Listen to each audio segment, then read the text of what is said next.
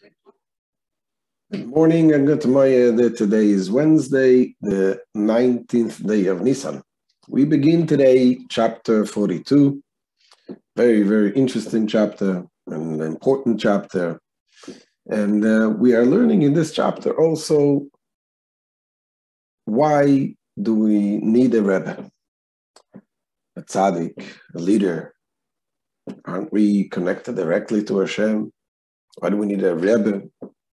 We have Moses. Moshe Rabbeinu was also leading the Jewish people. Why is that important? Alter Rebbe, in this chapter, explains that in order to serve Hashem properly, there is something that we get from Moshe Rabbeinu. There is the special connection to neshama of Moshe Rabbeinu in each and every one of us.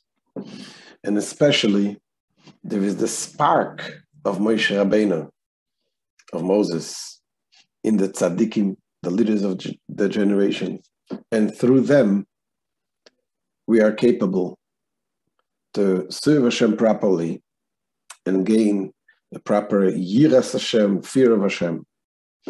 And Alter Rebbe begins with a question that it says, Moshe Rabbeinu says in the Torah, Ve'ata Yisrael, ma Hashem alakecha shoel mimach. What does God want from you? Nothing much.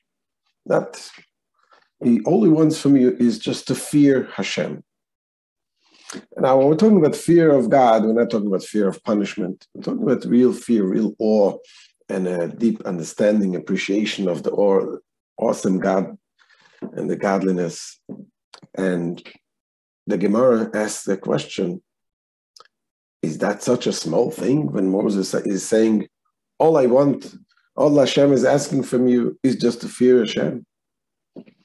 And the answer that the Gemara gives, the answer that it's brought down in the Talmud, is even more perplexing.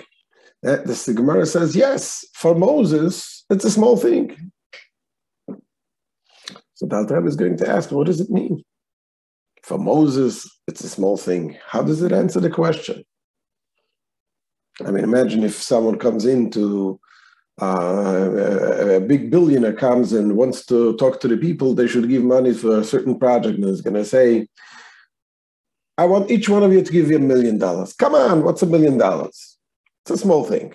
Of course, for you, you can talk a small thing for a billionaire, but for us, it's a big thing. So Moses is talking to the people, what is he oblivious? Is not understanding what the people are capable of? Obviously, Moses was not. There may be some tzaddikim that they live in a, in a different way, in a different world, and they cannot see uh, um, what the normal people feel. But a tzaddik like Moses is a leader. A leader is supposed to feel and understand and know exactly where the people are. We know the story of Moses became the leader when Hashem saw when he Moses was chasing after the sheep that was running away, and he was attending to the one sheep that ran away from the flock. Obviously, a leader is knows. That's when Hashem said, Moses, you care for the sheep that ran away and you bring it back. You are the one who is qualified to be the leader of my people. So a leader like Moses is one who understands and he knows the feeling of each and every one of us. So what is why does Moses say, what does Hashem want from you? Not much, just to fear Hashem. And that is a question the Talmud asks. And the answer the Gemara gives, that for Moses is a small thing. Alter Rebbe says, what kind of answer is this? And Alter Rebbe is going to explain that when the Gemara says that for Moses is a small thing, it means to say that there is a Moses within us, and there is a Moses of every generation. And this is something that helps us to reach the level of fear of Hashem. So let's look inside what Alter Rebbe says in today's Tanya.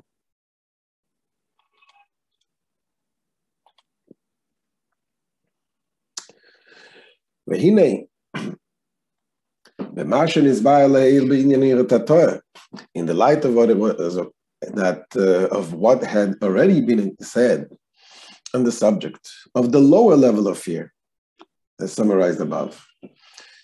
There is the higher level of fear, there's the lower level of fear. We're not going to going to into it right now, but we explained in the last chapter the lower level of fear is the awe that we have of Hashem. So based on this, Yuvan Hatev, Mashakosov Gemara al Pasuk, Be'ata Yisrael, Mo Hashem Alekecha Shoel Me'imach Ki'im Le'ira Es Hashem Alekecha. One will clearly understand the Talmudic comment on the verse. And now, Israel, what does the Lord your God require, require of you? Only that you fear the Lord your God. And the Gemara is asking, Otu Yira Zutrasei? Is fear then such a small thing? And the answer the Gemara gives, the answer that is brought in the Talmud is in Lagabe Moshe Milse Zutrasei. Yes, in the case of Moses, it is a small thing, and so forth. So, says the Alter Rebbe, At first glance, the answer of the Gemara is incomprehensible. Why? The verse says, because the verse says, what does he require of you? Not what does he require of Moses. What does he require from each one of us? And Alter Rebbe is going to explain that yes, because there is a neshama of Moshe, there's the, the Moshe Rabbeinu has a very special place. What does Moshe do? He he brings. He's the one of the shepherds, one of the seven faithful shepherds, and and, and what Moshe Rabbeinu is doing is bringing the faith, bringing the awe of Hashem into each and every one of us. And Alter Rebbe is going to explain in detail. Elohim Yenu. The explanation, however, is Kikol Nefesh ve nefesh mi miBeis Israel Yesh Bo Mibchinas Moshe Rabbeinu Olav Shalom. Each and every soul of the house of Israel comprises within it something of the quality of our teacher Moshe, of Moshe Rabbeinu. Kiyum Shiva Roim, the peace unto him, because he is one of the seven shepherds. Who are the seven shepherds? We know Avram, Yitzchak, Yaakov, Moshe, Aaron, Yosef, and David. And he's one of the seven shepherds. הממשיכים חיוס וליכוס לכלולוס נשמס ישראל, שלכן נקראים בשם רעים. These seven shepherds who cause vitality and godliness to flow to the community of the souls of Israel, for which reason they are called shepherd, because a shepherd feeds his flock. So there's two, the shepherd, the spiritual shepherd, they feed the spirituality to the Jewish people. Now, not only is Moshe Rabbeinu considered one of the seven shepherds, but Moshe Rabbeinu, he is the one that comprises them all. So the Alter Rebbe says that Moshe Rabbeinu is considered unique even among the shepherds. You know, it's interesting. It says about Moshe Rabbeinu, it says in the Torah Santa, it says Avraham Avram. Twice Avram. It says in, in, in Avram Avram there is there is a line between Avram Avram. And the Zohar says that by Moshe Moshe it says Moshe Moshe with no line in between. What is the difference? It says there is by Avraham, there is the Avraham the way is above in the spiritual world, and there is the Avraham the way is below. Even when say Hashem Hashem also, Kel Racham and there is also a psik, something with is the Hashem, the way it's above, Hashem, the way is below. But by Moshe, it says Moshe, Moshe, says the Zohar that there is no there is no separation in between. Because Moshe Rabbeinu, the same Moshe that was above, the same Moshe is down here in this physical world. That means that his neshama, his neshama came from Atzilus in the same way it came from the higher world right here in this physical world. Moshe is considered the Raya Mehemne. Raya Mehemne, the faithful shepherd, says Alter Rebbe. Why? Because he's the one that connects. He brings the das. He connects. He makes the spiritual a reality in this world. Das means knowledge, but knowledge in this in this sense means connection like it says by Adam Yodach Chava, Adam knew Chava. Knowing Chava means connecting. So knowing Moshe Rabbeinu gives the, ability to connect and to know in a way of connecting. Continues the Alter Rebbe. Moshe Rabbeinu Olav Shalom u klolus kula minikra rai mehemne, our teacher Moshe, peace upon him, comprises aspects of them all, and he's called a faithful shepherd, the Ainu Shem Mamshich, Pchinas, Adas, Leklolus Israel, Leida Hashem. This means that he draws down the quality of Das to the community of Israel that they may know and be cognizant of God so that for them godliness will be self-evident and experienced by every Jew. Each according to the intellectual capacity of his soul and its root above, according to the level of the root of the neshama, that's how much you can connect. And according to the degree of its nurture, from the root of the soul of Moshe Rabbeinu, our teacher Moses, peace upon him, Olav Shalom. Amushreshes bedas or elyon shebeyud tzfiris datzilus. Now Moshe Rabbeinu's neshama, which is rooted in the das elyon, the supernal knowledge of the ten spheres of Atzilus, the ten attributes of the world of Atzilus, which is the highest world of the four, four worlds, Am Yuchodes b'Matzilan Baruch which are united with their emanator, with Hashem, for he and his knowledge are one, and he is the knowledge, etc. So that's one thing, says the Alter Rebbe, that every Yiddish neshama is connected with the Moshe Rabbeinu and is nourishing from the from the soul of my, of Moses.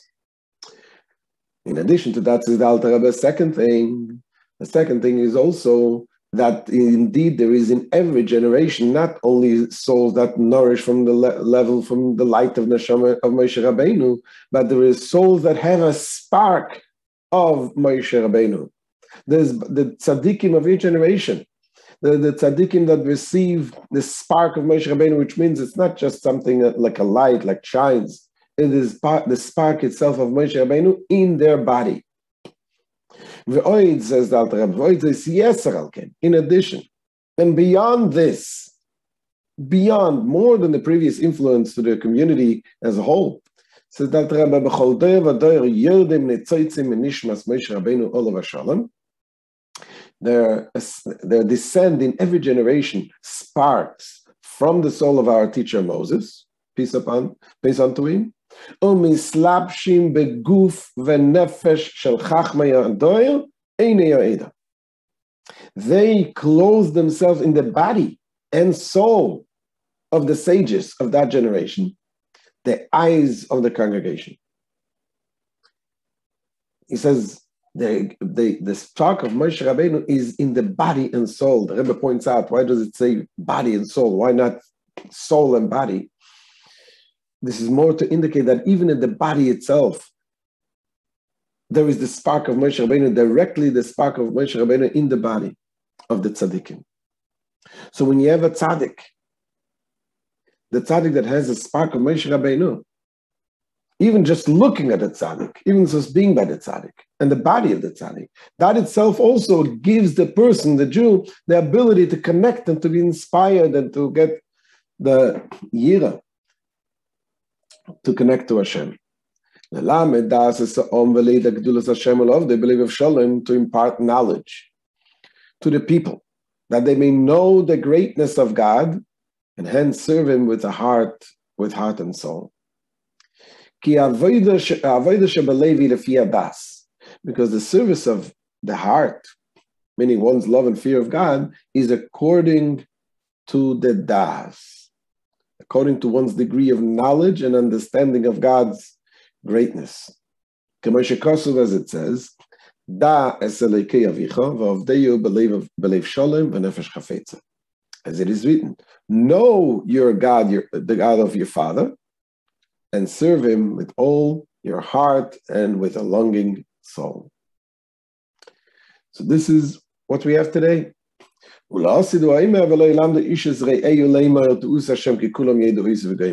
Only concerning the future, the Mashiach's times, it is written, and they shall teach no more every man his neighbor and every man his brother, saying no God, for they all know they for they shall all know me. In time of Mashiach, will have this das, will have this knowledge because because this is something that we see. Das is knowing.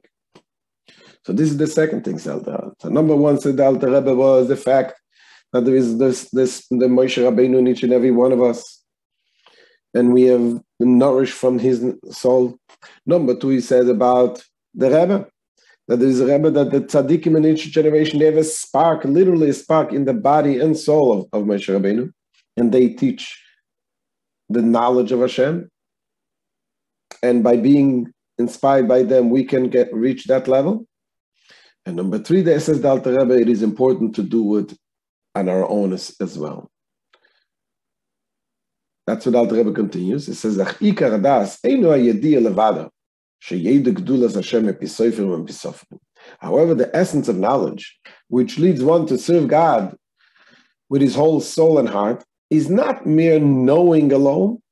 That people should know the greatness of God from authors, the sages, spiritual guides, and books.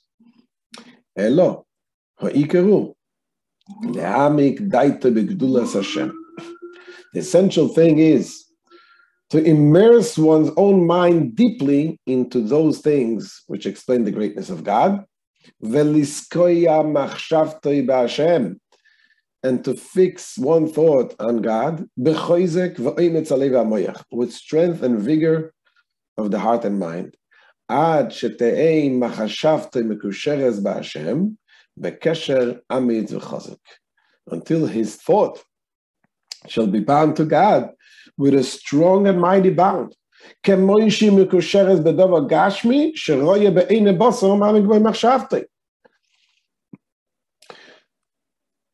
The, the, the bond should be so strong as it is bound to a material thing which he sees with his physical eyes and upon which he concentrates his thoughts. Kanoida, shedas uloshen iskashus, for it is known that das connotes union. As in the verse, and Adam yada es chava. Yada inu chava literally means knowing. But the word Yada means the connecting, that he connected with Chava, with Eve. And that is, says the Alter Rebbe, this is the meaning of what we gain from the number one being that we receive the nourishment from Moshe Rabbeinu. Number two, connecting to the tzaddik. And number three, to focus strongly on the concept of what we learn is something that we should really connect to. Once mentioned the story of uh, one of the mashpim. It was um, a mashpia in the city of Kherson in Ukraine. And it was a person who was um, was not was not well at all and the doctors to the point that he could eat very very little. He was able to eat something to drink a little bread a little milk and was hardly suffered a lot physically. And one of his students was the mashpia Reb Mendel Futerfas was much much younger than him. And one day he meets him and says no how are you? How are you doing? And he says to him ah Baruch Hashem, he says, Alavai, I wish my spiritual, my spiritual life would be as my physical life. And the Ben looks at him and says, What? really? That's what you wish? Obviously, your physical life, the physical life is not is not much. You suffer, you have hard, you hardly live, you have a little bit bread and milk. He says to him, You don't understand. He says, Yes, indeed, I have a hard time living, but in my physical life, that little milk that I drink, that little bread that I take in, really changes me, has an effect on me. So I wish, he says, my, my spiritual life would be the same. That what I take in spiritually, what I learn, should really have an effect on me. And that's what he means. That is das. This is knowledge. This is knowing. Tomorrow, the Alter Rebbe is going to continue explaining how we do this, the knowledge, how we do the connection to be able to be inspired with this. And this is the end of today's share. So thank you very much for joining. That's Hashem. We'll see you tomorrow, Bezrat Hashem. All the best.